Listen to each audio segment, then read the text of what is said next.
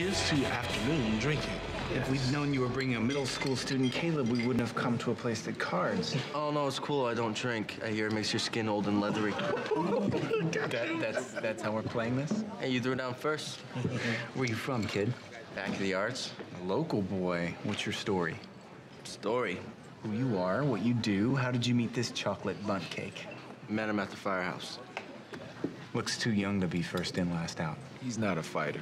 Well, I'm starting to be an EMT. I got 20 more hours in the classroom, 30 practical, then I can take the exam. Wow, so not a deadbeat looking for a green card like the last one. All right, all right. Never heard about him. What was his name Oh. again? Was it Raul? No. Philippe. Yeah. Okay, let's just drop it, all right? It wasn't it Jose. How about we change the subject? Oh, chocolate bun cake. I'm hurt. You told me I was your first. Not a chance.